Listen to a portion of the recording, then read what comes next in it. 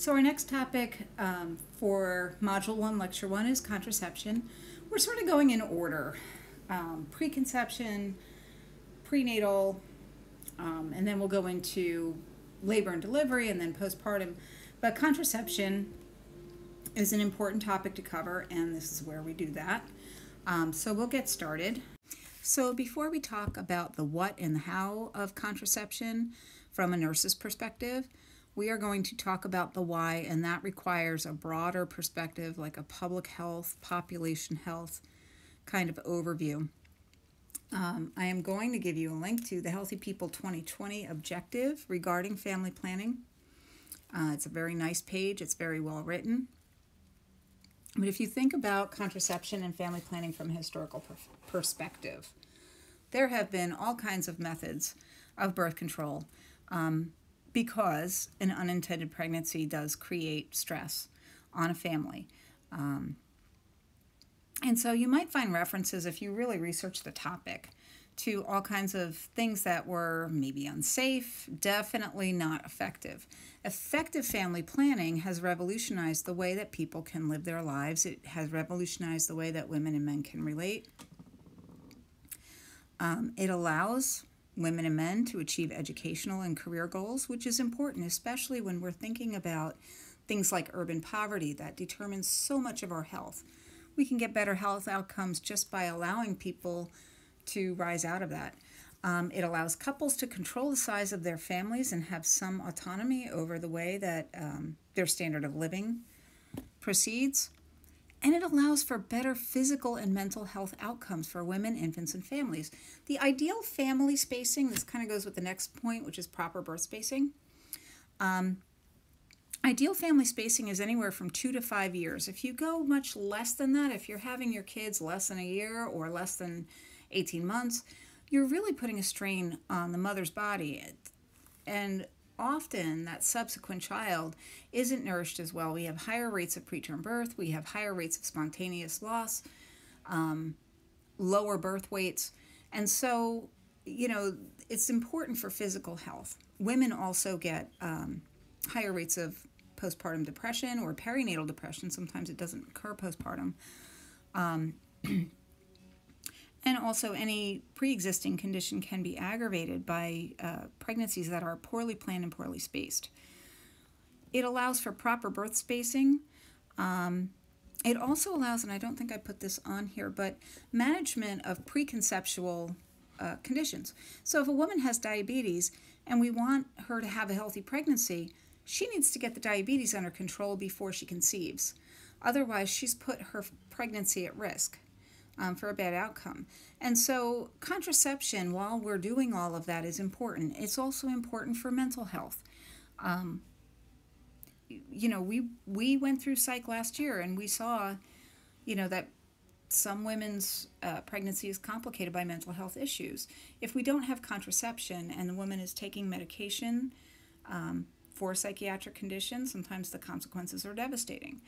Um, if her illness is not controlled before she gets pregnant, she has a chance of a much poorer outcome um, for multiple reasons. Um, so, family planning can really allow people to have a much higher quality of life. And it reduces the social and financial cost of unintended pregnancy, both for the individuals involved and for, uh, you know, the population on a whole. Um, you know, if you think about the financial cost of an unintended pregnancy, um, we've got more people who need assistance. We've got more people who need uh, extensive health care when there are poor outcomes. And so, family planning is a really important aspect of population health. Now that we've discussed the importance of family planning in terms of individual and population health, let's get into the different methods of contraception. Um, don't worry about looking at all this on one page. As we move forward, we're going to break each one of these down and discuss them individually. So, natural methods or situational methods, as your book terms them, include abstinence, which in theory is 100%, however, in practice is much lower due to user error, and I'm sure you can all think of reasons that that might be. Um, we have fertility awareness methods. These can be somewhat effective, more effective than random chance, certainly, um, with unprotected sex.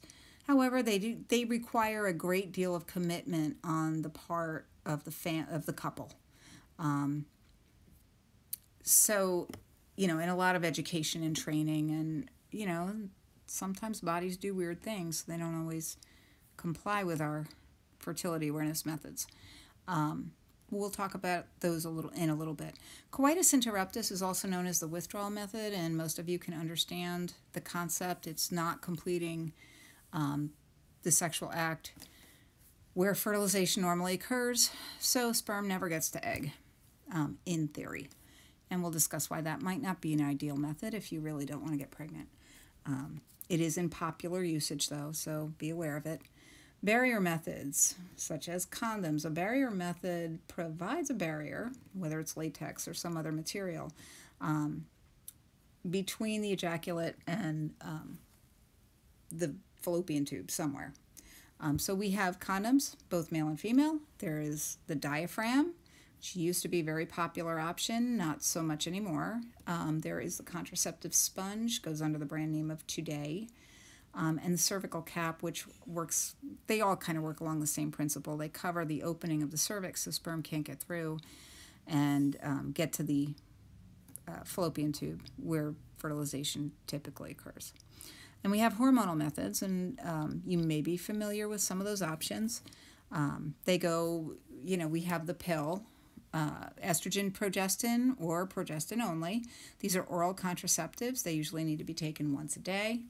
Um, Ortho which is a patch, is another combination hormonal method, and the NuvaRing, which um, covers the cervix and releases hormone. And then we have progestin only contraceptives. I'm covering intrauterine devices and Nexplanon under another category, but they also use only progestin. Progestin is, um, you know, you're kind of mocking, you're, you're blocking the body's normal ovulation signals.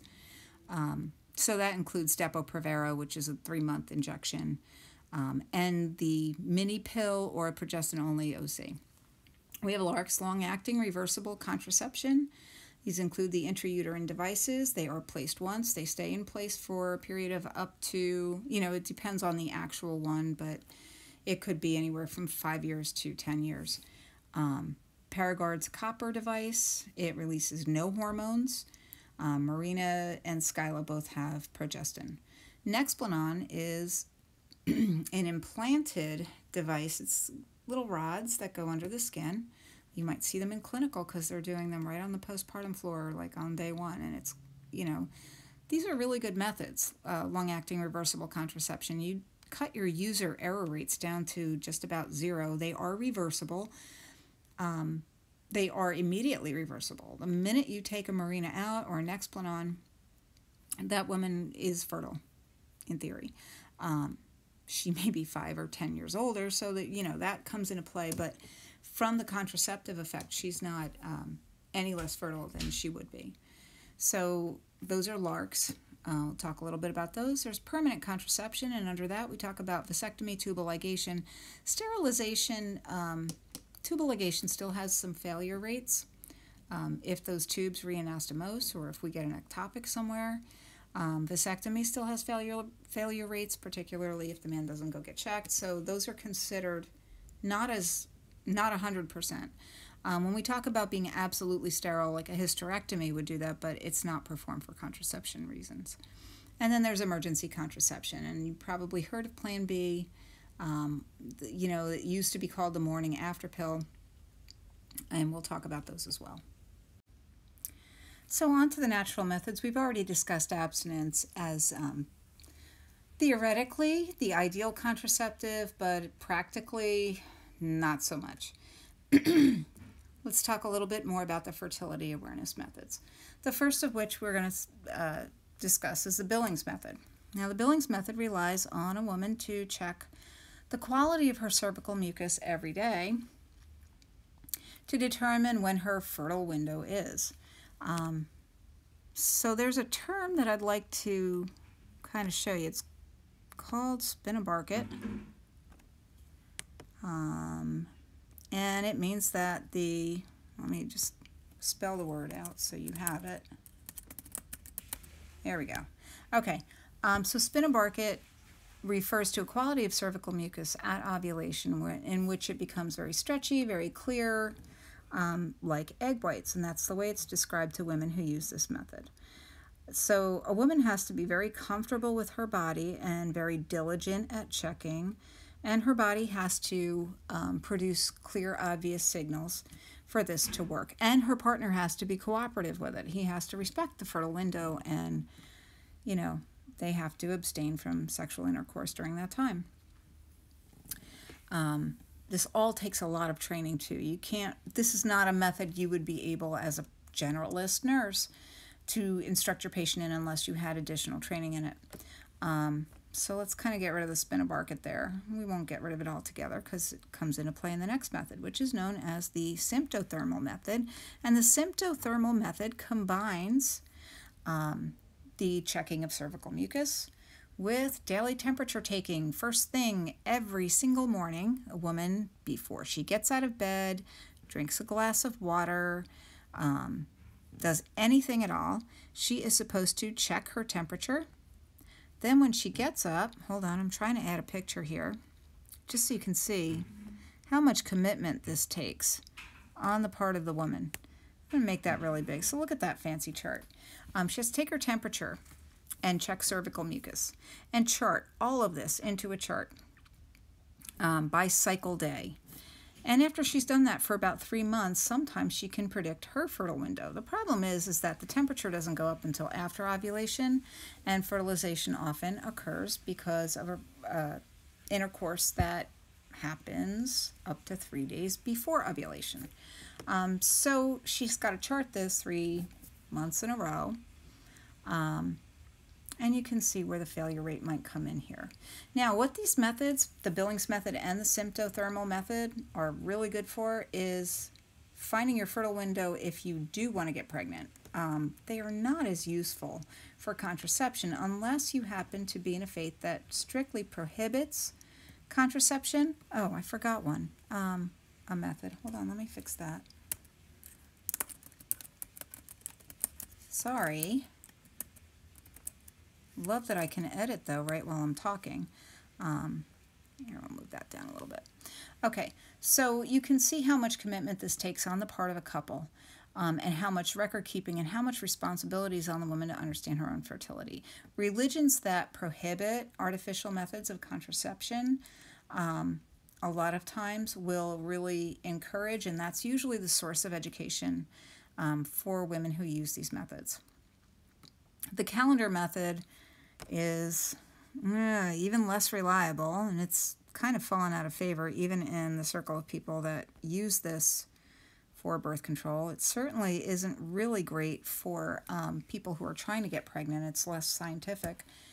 Um, those people are probably better off buying ovulation predictor kits, which um, detect the presence of FSH in the urine. But anyway, that's sort of a digression.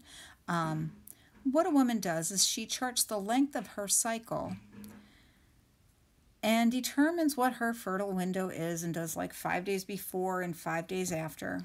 Now, the problem with this is, is that ovulation occurs 14 days before the next period starts, not 14 days after the last one started. And you really, unless your cycle is really like clockwork, it is almost impossible to predict the exact timing of ovulation. Now, if you're leaving five days in either side and you're fairly regular, theoretically you're safe. But look at that. That's an awful lot of days for a happily married couple to abstain from sex, especially if they're also abstaining during menstruation. So you've got like maybe, you know, a few days a month where sexual intercourse can occur, and that's just not acceptable to most happily married couples or happily partnered couples you know, it's just not a thing that most people would want to do. In addition to which, bodies are weird. They do weird things. They catch colds right before finals. They sometimes have twitches or whatever, and sometimes they ovulate on a very unpredictable business uh, basis. So that is sort of the uh, drawbacks to the calendar method. That's why almost nobody uses it. Lactational uh, amenorrhea. Be careful with this one, especially on the postpartum floor. Um, a lot of women labor under the delusion that they cannot get pregnant during breastfeeding. Well, on the whole, women ovulate less when they're breastfeeding, um, especially when they are exclusively breastfeeding, and breastfeeding happens all through the day and night. Um, but lots and lots and lots of women with very closely spaced children have used the lactational amenorrhea method and it has failed them. Um, especially when you start having a baby sleep through the night, um, which is kind of when you're more at risk for uh, an unintended pregnancy anyway, because you've got the opportunity. Um, especially when you start offering solid foods, any reduction in the amount of prolactin that this mom is going to produce and oxytocin um, is going to increase the chances of an unintended pregnancy. Um, so it's not an ideal method, although some people will rely on it. People should be counseled that you might ovulate before you get a period, you know, and you might ovulate while you're breastfeeding, and just know that. And if it's if you want to space your kids a little further apart, you need to use a different method. Um, coitus interruptus is listed in your book as a situational method. I alluded to that before, and this is um, a common method among people who really don't plan to have sex uh, and they find themselves in that situation. It's sort of a, an impromptu way of not getting pregnant. It is not super effective. Um, failure rates are high. A for you know compliance issues, and B there's a lot of times there is some sperm present before ejaculation occurs. Um, so those are the natural methods. The next item on our agenda are the barrier methods of contraception. Um, most of us are familiar with the male condom. That's sort of part of our popular culture because of public health campaigns, and rightly so. They are important for not only individual health but for population health. We have male condoms and we have female condoms. Let's move some stuff around so that we can focus our discussion. So, male condoms are probably the most familiar form of contraception to most people. They are easily available in drugstores. You can get them cheaply. You can actually get them for free in a lot of community health centers, including family planning clinics, um, but not exclusive to that. What's important to remember is that a condom is only as effective as the person who uses it, and we need to provide education as nurses on the proper way to do that. I'm not going to um, go into the whole banana and the condom demonstration. What's important for people to know, and you may have to break it down for them. Number one, a condom is a single use item. I love this little tweet that the CDC came up with because it proves that they live in the real world sometimes. We say it because people do it. Don't wash or reuse condoms. Use a fresh one for each sex act. Things you think you don't have to tell people. Um, it is a single use item. It should be used for every single act of intercourse but it should be a new one every time. Also, um, we need to teach people to leave a little bit of space at the tip, roll down towards the base, and when they are taking the condom off, it's important to hold the base of it so that there's no spillage. Um, other things that are important you can use male condoms or you can use female condoms. You should never use both together. The friction can cause tearing, they can both break, and then you're wide open to infection. Um, it may take a little bit of practice for people to get the hang of using a male condom or a female condom. Female condoms are a little bit more difficult. Um, but there are some really good graphics on the CDC website which you can explore. It's also important to remember that if you need lubricant, you should use it, but it should be water based and not petroleum based, like baby oil or hand lotion or Vaseline or any number of things that um, contain oil based products because that causes latex to break down and that's you know sort of a risk factor. It's why bother? If you're going to do it do it right. Um, so those are your male condoms. Condoms are great when you combine them with other methods of birth control too. It really increases their effectiveness as a contraceptive. So some condoms are impregnated with um, spermicide or we can use we can advocate for spermicide use with the condom We'll talk at the end about the combination of condoms and LARCs uh, long-acting reversible contraception. It's actually a healthy people goal to increase that combination so that we're not having an unintended pregnancy and we're not spreading disease. Um, you really see HIV rates go down in areas where condom use is practiced, where it's promoted. Um, and when HIV was a new infection, it was sort of a game changer. It was the only way we knew to prevent the spread of this disease, um, which at that point in time was very deadly. So, um, male condoms, it's very important to know, you know, how to use them. Female condoms are also important. Um, side note about that, they were developed by public health experts because sex workers found that it was very hard. You know, when we were talking about developing countries, I think it was World Health Organization advocated for the development of this product, but I'm not entirely sure, so don't quote me. Um, sex workers were using the product because their male clientele refused to put on a condom. Um, the problem with that is, again, it is a single-use item, you know, and there were some issues with with that. Um, enough said on that subject. So, in addition to condoms, we have some other barrier methods. We have the diaphragm. Diaphragm used to be a very popular method of birth control. It is non hormonal. It must be fitted by a provider. It must be refitted when a woman gains or loses more than 10 pounds or after childbirth. It must be inserted before sex with a spermicide. Um, let's see if I can find you a good picture of that. There's there's the diaphragm. Let me kind of circle that. There you go. With the spermicide. Um, it's important to have that ring of spermicide around that kind of seals the edges where uh, sperm can penetrate and get into the cervix through the uterus to the fallopian tubes where fertilization occurs. Um, and next you see the woman folding it, inserting it in her vagina, and making sure that it covers the os of the cervix. So that's how you would insert the diaphragm. Hold on, let me just move that. And if you give me a minute, I'm going to show you what it looks like. Whoop. My pictures don't want to do what I want them to do. Um, in the corner, you can kind of see. I'll just highlight it. It's easier than wasting your time trying to um, move the pictures around. So the diaphragm in the box, they put a quarter in it, and at first I was kind of freaked out, like, what's that for? Um, but it's to give you an idea of the size. It's got like sort of a flexible um, ring around it. It's it's it'll hold its shape unless you pinch it. Um, but that's the diaphragm. S- sorry. Um, things to know about the diaphragm. It needs to stay in at least six hours after intercourse.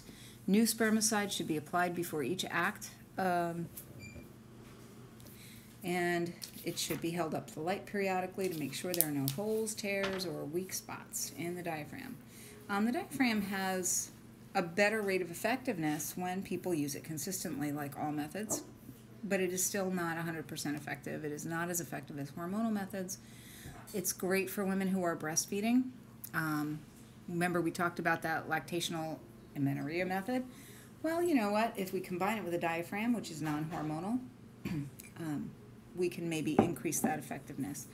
Uh, so the diaphragm may have some application. It's not a very popular method anymore. Women have to be very comfortable with their bodies to use it. Similar to the diaphragm, we have the sponge. Sponge is available over the counter. It does not need to be fitted. There's a picture of it right there.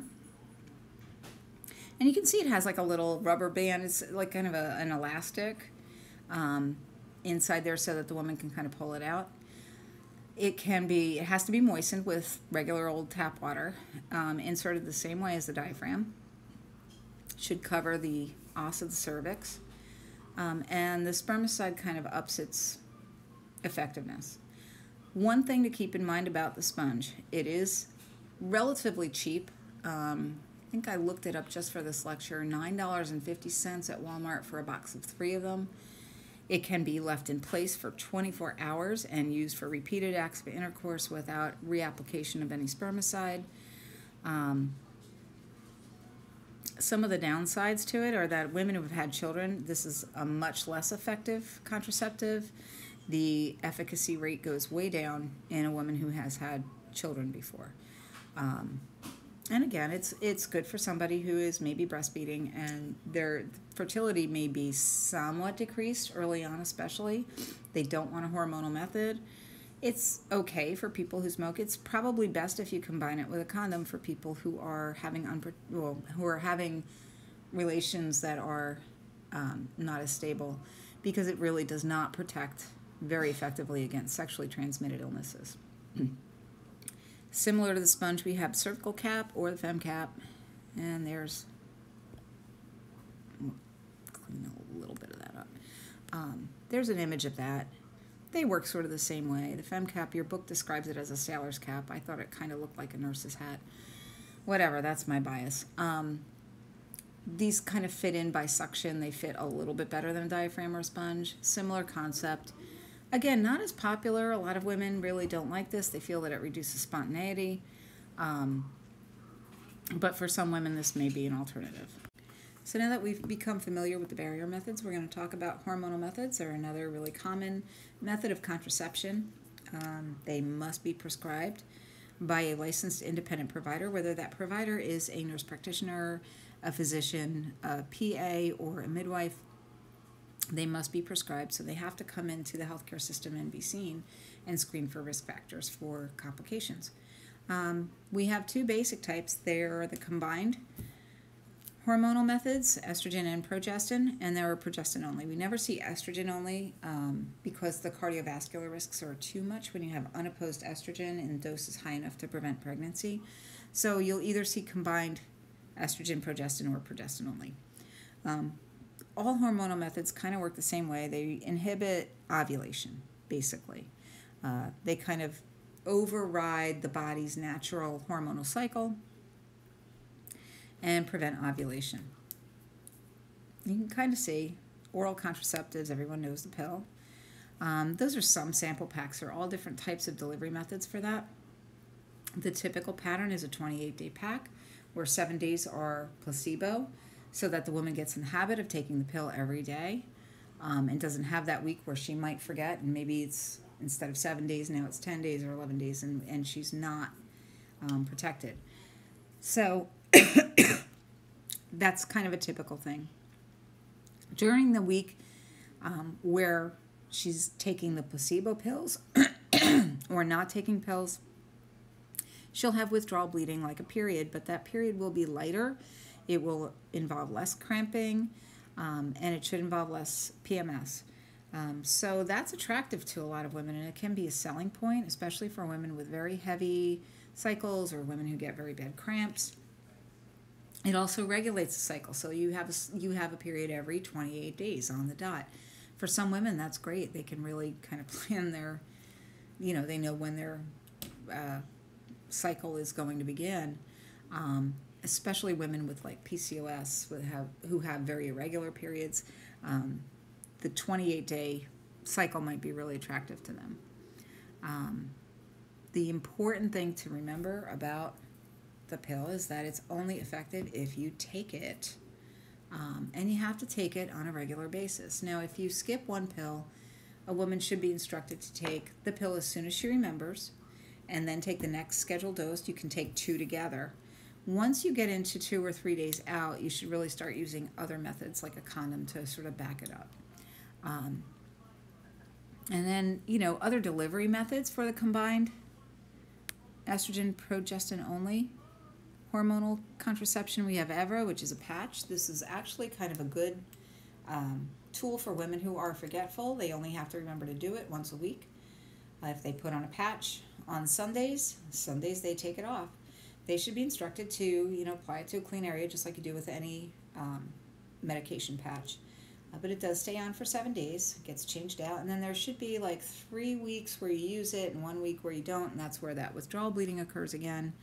Um, very similar to the pill, just not as uh, prone to error.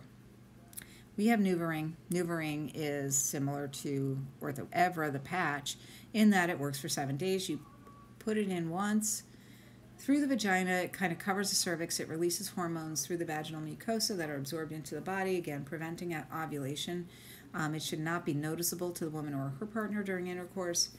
Um, women have to be comfortable inserting this and they have to have instruction in it. Um, and some women find that more or less acceptable than others. So, but it's another option we can offer people. Um, things to remember with the combined estrogen progestin pills. Now, in your book on page 88, I'm just going to refer you to that.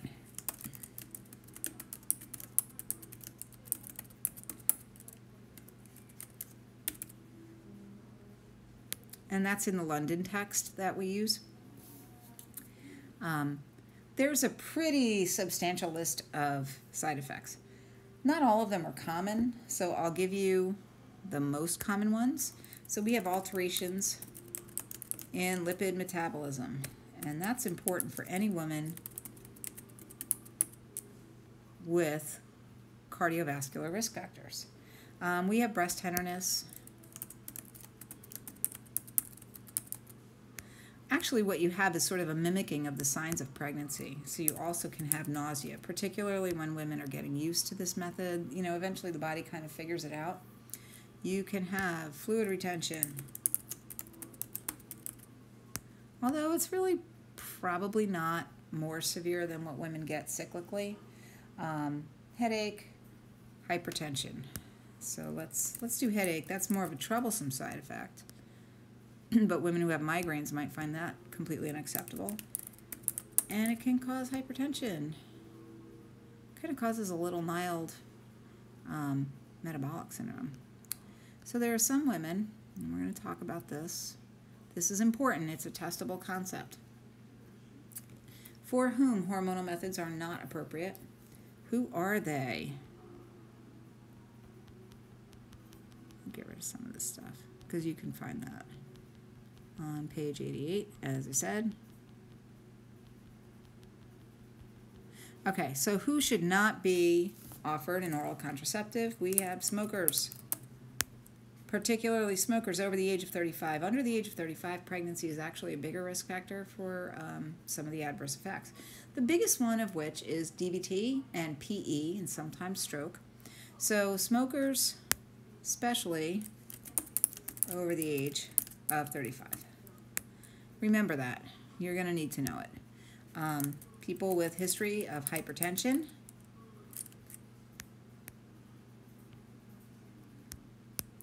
And then diabetes, really uncontrolled diabetes, but over 10 years duration or with vascular complications. And that kind of makes sense. We're talking about DVT, we're talking about PE, we're talking about stroke, and diabetes is a risk factor independent for all of those things. So we don't want to give women who have um, severe forms of diabetes or women who are have long-standing diabetes anything that could compromise them any further. Um, other people who should not get oral contraceptives are people with a history, and this is kind of one of those duh things, of DVT, PE, or TIA, or CVA. Okay, anybody with a history of blood clots, formation of blood clots, should not get hormonal method of birth control. That's just that. Okay, so let's give me one second here. So next up are the progestin-only methods, the mini pill. Here's a picture of that. You can see that it has days of the week written on it. Um, the biggest thing about the mini pill that people need to know is that if you miss it by even a few hours, you can trigger ovulation. Um, and if that happens, you are not protected against pregnancy. And that's sort of an obvious fact. However, lives are what they are. Um, so a woman who is not compliant with other aspects, if she's, you know, really committed to not getting pregnant, and she's breastfeeding, for example. Breastfeeding is um, one of the better indications for the progestin-only pill um, because progestin does not appear to block or to reduce milk production in a lactating mom. Um, but if she's highly motivated not to get pregnant, you have to tell her to set a timer every single day because just that difference of a few hours can be the difference between a, an unintended pregnancy and a woman who's protected against that. Um, And we have Depo-Provera. Depo-Provera is an injectable, long-acting um, contraceptive. And we give it IM injection every 12 weeks, although it is active for 14 weeks, according to my reading. Um, women should be instructed that they need to keep coming back. Now, one of the big things with progestin only methods, we saw that there were some significant side effects with the combined. Progestin tends to produce more troublesome side effects, and I'm going to list them there again on page 88, but acne, oily skin, just what every young woman wants. Um, and then we have decreased libido, again, yay, sign me up. Um, we have depression and fatigue. That will impact your quality of life. We have hirsutism, which is hair in unwanted places. We have increased appetite and weight gain.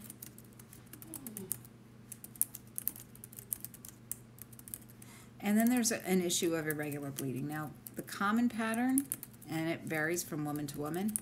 Let me just put these up so you can see them. Um, the common pattern is that in the beginning, when we're giving Depo, she may have prolonged bleeding, breakthrough bleeding, she has more bleeding. And then as time goes on with continued use, we see less bleeding. We might have very small, scant periods, um, far apart, or she might not um, bleed at all. And for some women, this is just not acceptable. Um, so they should be counseled that these are your side effects so that they don't just skip the next appointment and then they don't have anything.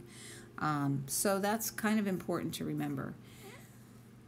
You know, it the, this method, like the LARCs, um, decreases sort of the visibility of birth control. So for a woman who is maybe in a relationship where the partner does not agree to her choice of limiting her fertility, um, sometimes you see that in abusive relationships, sometimes you see it in various cultures.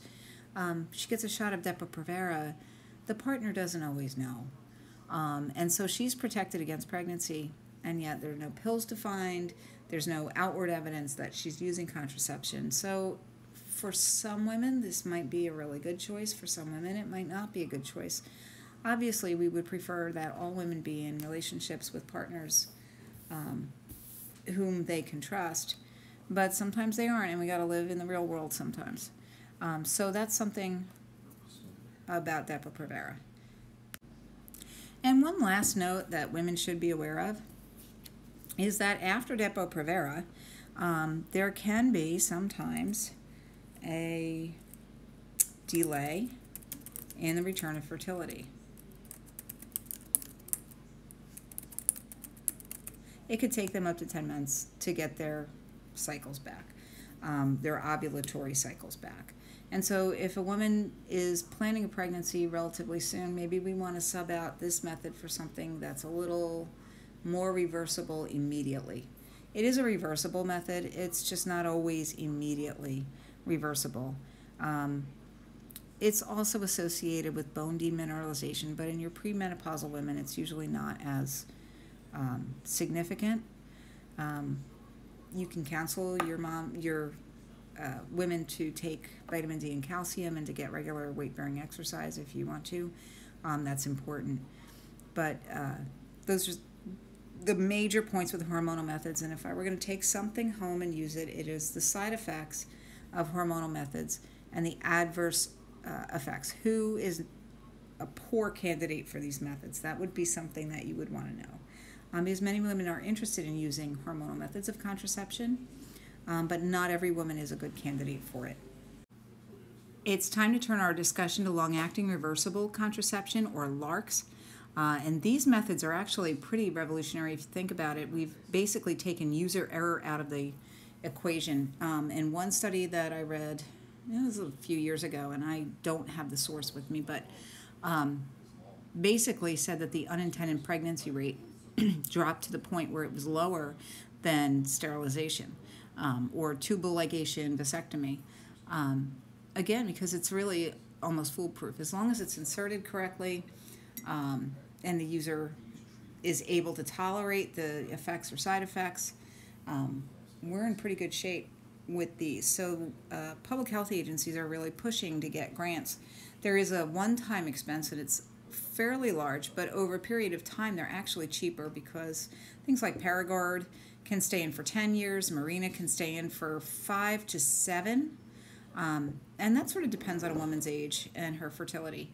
Uh, Skyla stays in for three, Nexplanon stays in for three. Um, so, over a period of three to 10 years, uh, we see actually decreased cost. So, this is a good contraception uh, method for people who maybe really should not get pregnant um, for whatever reason or don't want to. The other really big advantage of a LARC is that it is right in the name reversible and it is immediately reversible. There is a return to fertility as soon as the method is discontinued, as soon as we take out that IUD or uh, remove the Nexplanon. Um, so there are some significant advantages. Uh, intrauterine devices are becoming much more popular. In fact, if you ask most OBGYNs what method they use themselves or what method they uh, their wives are using, chances are they're going to tell you a Mirena or Skyla um, because these methods are very user friendly.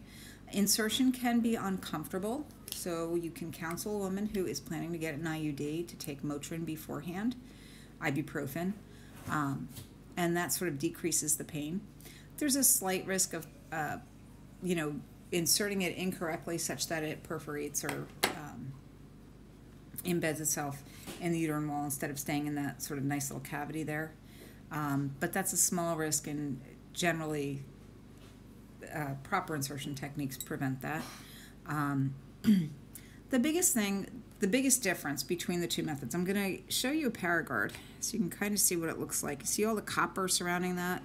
Well, it's copper based, it has no hormones. It can stay in for up to 10 years. It does not affect um, fertility in the long term, although, you know, you are 10 years older theoretically when you discontinue this method if you've used it till its endpoint. Um, people like it because it's hormone free, so it preserves their natural cycle. People dislike it because it increases cramping and bleeding for some women. It can make the periods heavier. It doesn't make them more irregular, which is what the hormonal IUDs will do, um, but it does make them heavier and it can make cramping more intense for some women. So, um, you know, Paragard is one device and it is copper based. Mirena is.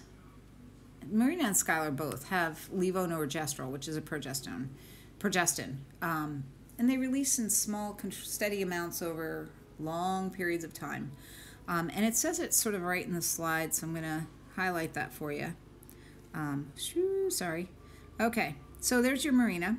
and because it's releasing hormones and it's also creating a mild inflammatory reaction within the uterus, it thickens cervical mucus to prevent sperm from entering the uterus. It sort of makes that unfriendly environment. Um, so that's its primary mechanism of action. It inhibits the sperm from reaching the egg so it does not get to the outer third of the, you know, the fallopian tube, the ampulla. Um, and it thins the uterine lining. Um, one of the big advantages for a lot of women with Mirena, because it thins the uterine lining, we see decreased menstrual bleeding. In the beginning, you might have some irregular spotting or some breakthrough bleeding, but generally, there's a lot of women who will not menstruate at all the entire length of time that they're on the Mirena, um, which for some women is very freeing. Um, you do not feel the Mirena once it's in place. The first couple of days, there is sometimes cramping and tenderness. Um, but after that, really, most women don't even know they're there. Now, you'll notice, eh, blow this up or highlight it or do something to it. Um, down in here, there are some strings. Okay, you can see those. They're like little filaments. Um, I don't have an actual device to show you. Maybe I'll order one one of these days. But um, those little microfilaments are not generally palpable during intercourse. A woman can check them for placement um, if you feel them. They usually get tucked behind the cervix in the posterior fornix of the vagina. Um, so they're not really in the way of anything, but you can still access them to check and make sure that your IUD is still in place. Um, the risk there is expulsion, um, and we don't want that. But um, it is thankfully rare. There we go. Okay, and I can go back to what we were doing here. Um, Skyla works along the same principles, but the big difference between Mirena and Skyla is a size difference. So Skyla is smaller, so it's more appropriate for women who have never had children. Mirena is suggested for women who have born at least one child. When you remove a Mirena, a Skyla, or a Paragard, that woman is restored to whatever fertility she would have at that age. Um, IUDs got a bad rap a few decades ago because there was a higher incidence um, for some women of pelvic inflammatory disease secondary to uh, sec- you know a sexually transmitted infection. Um, so an IUD, in theory, um, could maybe accelerate that if it were you know present. Um, there's a slightly higher chance of ectopic pregnancy. If the woman does manage to become pregnant, the pregnancy will usually implant in the tubes because it can't get back to the uterus, and there's no uterine. There's a very thin uterine lining with the hormonal methods. Um, but they are very, very effective, and we're looking at failure rates of less than one percent um, with the IUDs. And again, this is a contraceptive that once it's in and the cramping subsides in a couple of days, most women don't even know they have it. Now, the hormonal um, IUDs sometimes have some minor side effects. Most of the effect of the hormone is local. It acts on the uterus directly, the lining of the uterus, the cervical mucus. Um, but some does get into systemic circulation. So some women have reported weight gain uh, with that, but not as noticeably. You know, the percentages are a lot lower than for people who are taking, say, Depo-Provera um, for contraception.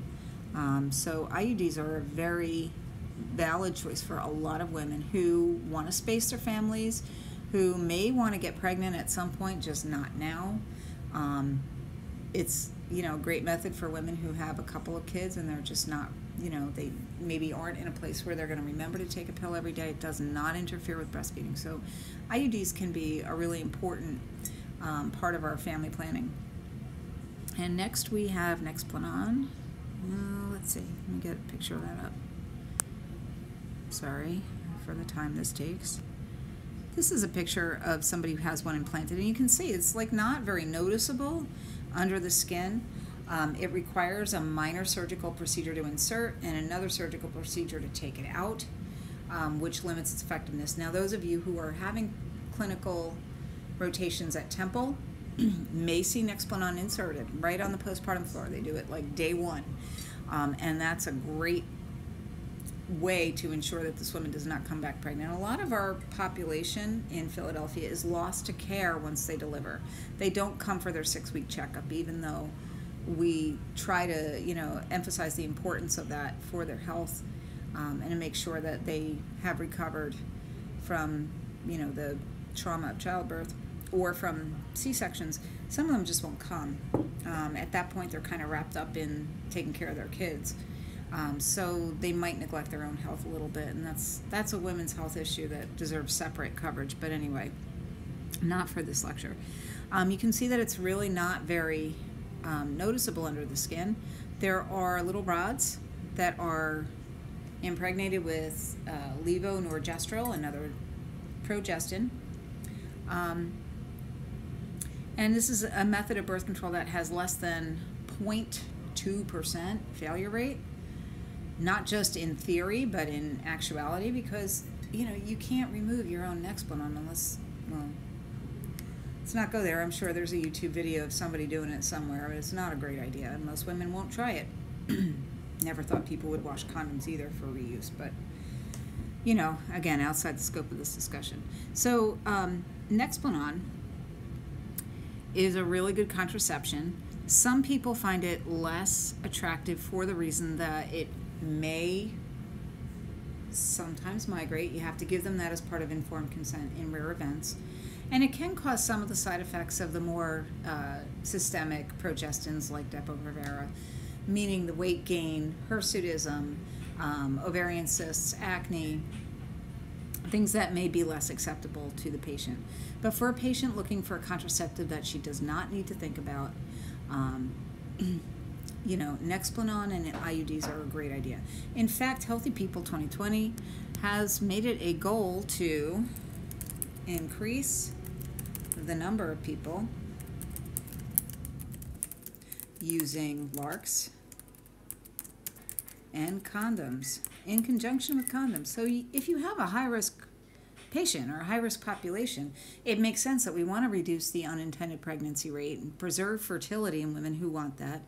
And at the same time, prevent sexually transmitted diseases. So for some of those patients in whom an unplanned pregnancy would be bad, you have people with diabetes, hypertension, other risk factors, HIV, things that you want to get under control preconceptional, uh, preconceptionally, which we'll talk about a little bit later, and women who are at high risk for sexually transmitted diseases, a LARC and a condom is a great combination. Keep in mind that your hormonal methods and your LARCs do not protect against sexually transmitted infections. Really, the only ones that do that are the barrier methods, and in particular, are male and female condoms.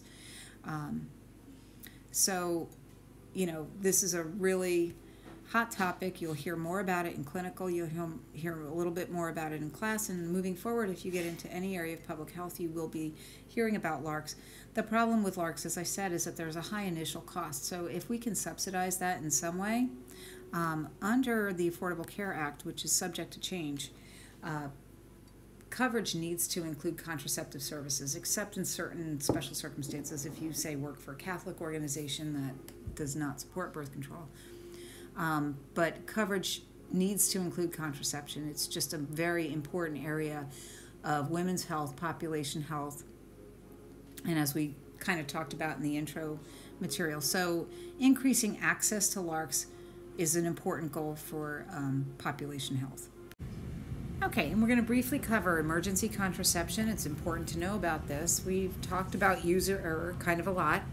Um, and there are occasions where women aren't planning to be sexually active and yet they find themselves in that situation, or they are using contraception and there's a failure of the method. A condom breaks, they miss a couple of pills, um, something happens to suggest that they are not protected from pregnancy after sex has occurred.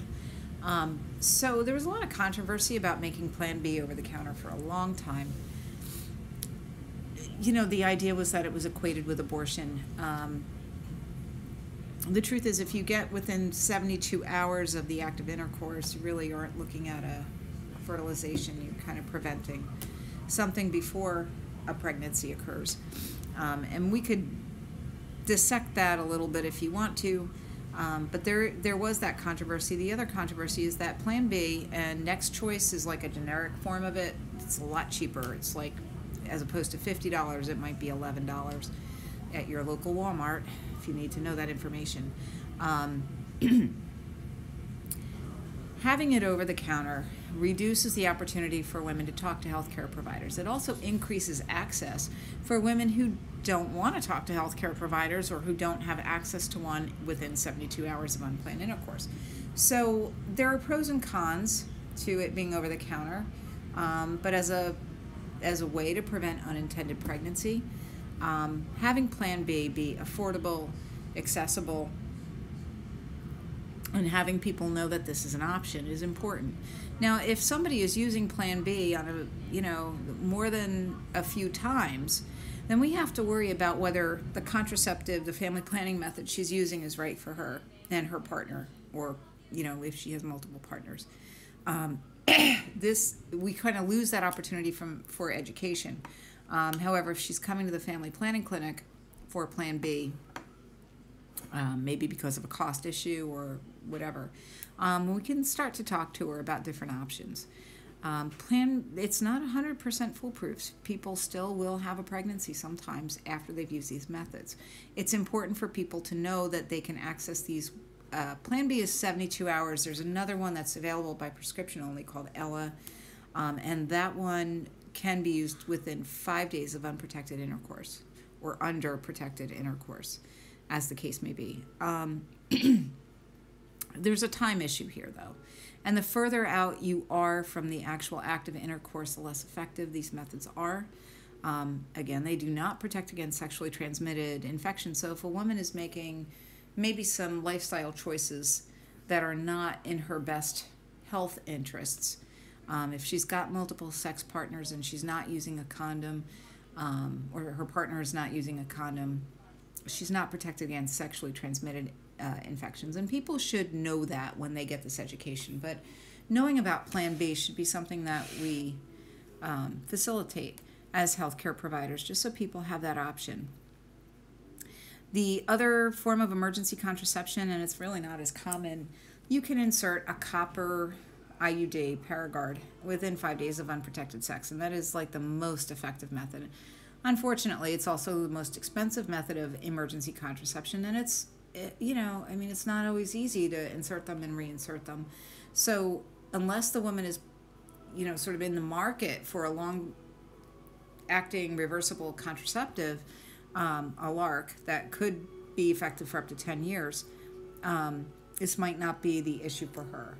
I mean, the contraceptive method that you want to push. Um, but that's emergency contraception. If you want to know more about any of these topics, I strongly encourage you to go on the CDC's website. They have a lot of really good information about this stuff. Healthy People has some information, but more of their information is about what we as healthcare providers should be um, looking at. uh, but that's emergency contraception in a very basic nutshell. I mean, there's you could go on about it, but um, that's what you need to know. Okay, so the last topic we're going to talk about is operative sterilization.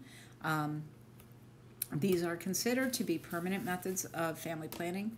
When a family is certain that they do not want more children, this is often presented as an attractive option, and people do have their tubes tied or have vasectomies um, fairly commonly um, when they're at that point in their life that they have decided they no longer want children. Um, so there are methods for men and methods for women, or a method. So I'm going to show you a picture of tubal ligation. We'll talk about that first. So tubal ligation disrupts the pathway from sperm to that outer one third of the fallopian tube, the ampulla, where fertilization occurs. it doesn't affect the menstrual cycle. It doesn't affect hormones. Um, it is a surgical procedure, minor. Usually it's done laparoscopically. Sometimes it's done open, especially for women who are obese. Um, does carry some risks that are inherent to all surgeries, bleeding or infection. The biggest teaching point that you need to get across, and you need to make sure that it is part of informed consent. If the woman is not English speaking, you must make sure that she understands it in her native language, that there was a translator line used. This is irreversible. Um, there may be ways to get pregnant when you've had a tubal. Um, for example, IVF, intra vitro, vitro, sorry, in vitro fertilization, um, where em- embryos are implanted into the uterus and we bypass all of this other machinery. But it's not something that should be taken lightly. So when you have people who aren't sure whether they want an irreversible method of contraception. If you phrase it to them, if something happened to your kids or your partner and you uh, found yourself in a situation where you were childless or you had a new partner who desired children very strongly, would you regret this decision? And if they say, absolutely not, I want it anyway, um, then you know they're good candidates for the procedure. Um, people who are sort of sitting on the fence, um, it may be a better idea to put, to propose long-acting reversible contraception. But most people know when they're done with their family, so this is an option for a lot of people. Um, this picture here shows Filshie clips. We do, you know, fair number. Whoops, sorry. Of tubals on the floor that I work on, um, and I'm gonna kind of highlight what the Filshie clip looks like. It's there and it's there. Um, and they're little metal clips, they're like clamps, and they block that pathway. Um, other providers might, depending on the surgical technique they were trained in, tie, cut, and cauterize. Um, the only failure rate that happens, and it does fail occasionally. I have actually seen women come in to give birth after tubal ligation. Um, sometimes the tubes will reanastomose, less common with Filshie clips than with the older method of tying, cutting and tying. Um, It can happen. It doesn't generally. Um, but that is tubal ligation. Again, women should be counseled that it is a surgery that they will. Uh, it's a. It's not as major a surgery as a C-section will say. Uh, can be done during a C-section. It can be done postpartum when the uh, uterus is still enlarged enough that you can see the tubes. Um, but it should be considered absolutely permanent, and it is a surgical procedure. Um, so let's get that out of there. And then we have vasectomy. Vasectomy is another um, method. This is for the male. Let's get that picture up here, and it is a big picture. Sorry about that. And you can see it doesn't affect sperm production or sexual function in any way. Ejaculation, there will still be semen, it just won't have sperm um, because the tubule that conducts the sperm into the seminal um, vesicle, well, into the urethra, um, has been cut. So it is a surgical procedure. It is considered a minor surgical procedure. They show you where the incisions take place in the scrotum. I'll highlight that for you in case you were really super interested. So right down here, there's like two very small cuts, um, and they'll go in and they'll um, cut the tubes right about there. Um, what is important for the man to know? There's a few things that are important for the man to know. It should not impair his sexual function. It will not impair hormone production. However, um, one of the biggest problems with this is that there is still sperm present um, for, I'm going to quote your book here, and that information can be found on page 90 for those of you who want to search for yourselves. Um, it takes about four to six weeks and six to 36 ejaculations to clear um, those pathways, the vas deferens of sperm of viable sperm. So there's a window of time after the surgery where they may still get a woman pregnant. and they should be checked. They should be checked at 6 and 12 months to ensure that fertility has not been restored by what your book terms recanalization. That means that these tubes kind of grow back together. That's what happens in the tubals that fail, by the way. So as a method, it's actually slightly, slightly less effective than um, Nexplanon or Mirena, but definitely much more effective than most other uh, reversible methods of contraception. Um, and if a man gets checked to make sure that his seminal fluid does not contain sperm, then um, you know they can be fairly well assured that pregnancy will not occur. Um, again, should be counseled um, that that's a permanent procedure. Um, there is some discomfort. It's one of those things. A lot of men will have the procedure done on Fridays. A lot of doctors will schedule a bunch of them on Fridays um, because they can recover over a weekend. It's you know ice and rest, um, and kind of sitting in a recliner chair. But it is certainly, and maybe you'll have to chastise me for my sexist attitude here.